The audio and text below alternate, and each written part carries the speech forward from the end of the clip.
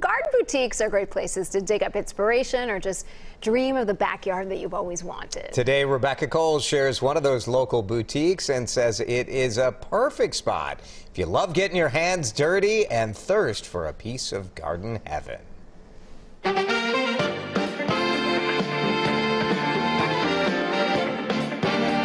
It's touted as the absolute garden experience, and it's true. What once housed a gasoline station once filled with pumps and auto mechanic equipment is now pumping out Minnesota nature. Tangletown Gardens, nestled in the heart of Minneapolis, isn't like any other garden center.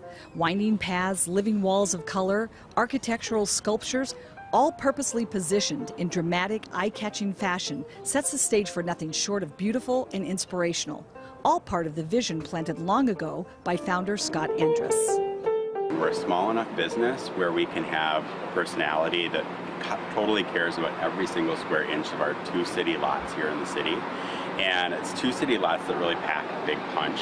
You know, you might have, you might start out with basic things, which we have, but then having that unusual conifer or that really, really striking tropical or adding an exclamation point in the garden, which, which a typical Minnesota garden might not have. It's really going to maybe bring your garden up a notch. Scott and his partners are fastidious stewards of the land. We're actually selling a living, breathing ecosystem of soil um, where you can see these healthy roots all the way to the end. And the soil itself is very healthy. So all the interesting uh, microorganisms and the mycorrhizae that actually uh, help in a symbiotic way to ensure the success of this plant being transplanted into your garden, into an interesting container. Um, all that stuff is very, very important. But probably what makes Tangletown Gardens stand out from the rest is their eye for design. But why just have a bank of hostas? Take this as a starting point and then work from it. You know, maybe add something that has a little bit finer texture. So maybe some oh, epimedium oh, that yeah. blooms in the spring. It brings out this darker green margin of this more common hosta. Another pairing for this, Love adding it. some Japanese hakone grass, adding a finer texture, different leaf form plays off the variegation of the hosta, certainly still different from the epimedium, and then that combination can oh, lead to the next, the next. So certainly give yourself permission to color outside the lines, but definitely follow the principles and elements of design. Uh, it's what we do here. And you can see their design magic everywhere.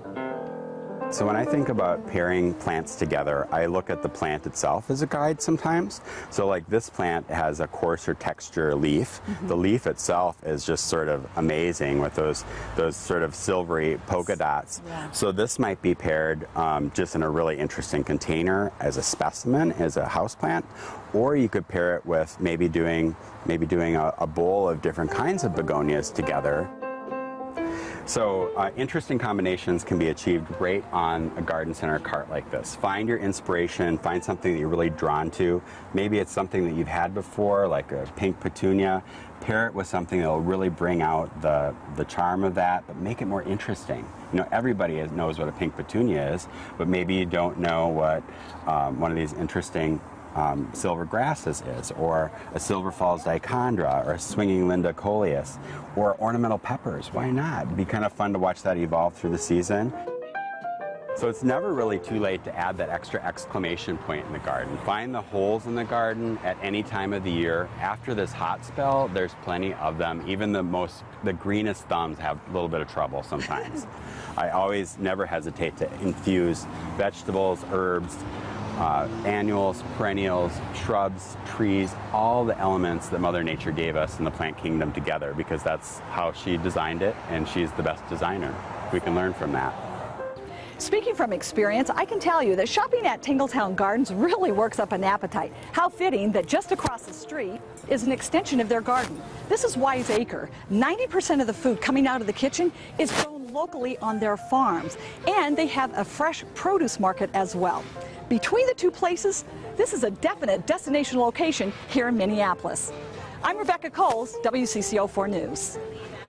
For more gardening tips, go to Rebecca Kolls and her Instagram feed. Rebecca will uh, comment back to you. You can chat with her on the Instagram feed. It's a, a great resource.